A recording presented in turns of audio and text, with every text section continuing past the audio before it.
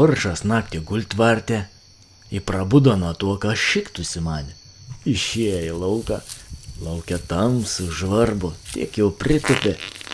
Akrūmuose lapė su vilku alkanį žiūri tą procesą.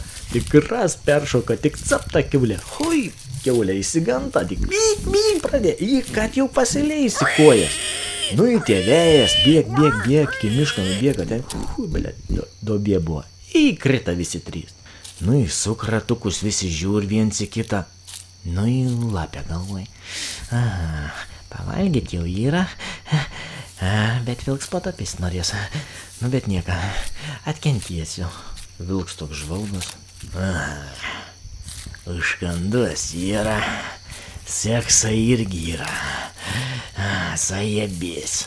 Aparšas toks galvoj, nu pėsda, taigi viskas, dabar man pėsda. Kebra, prieš mirtį, dainelę galiu sudainuoti. Vilks, davai, varyk. Akiaulė, ką pradėjo žviegt, ką pradėjo žviegt. Nu ką kaimiečiai tik tais prabuda, ras už šakių, paks atrado tą vietą, subadė vilką ir lapę su šakėm. Nu, lapė krita vietoj, a vilks daliais gyvis ir galvoj. Eina nahui, valgyt buvo, sieksa buvo, ne blėt, dar pramagų visi maniau.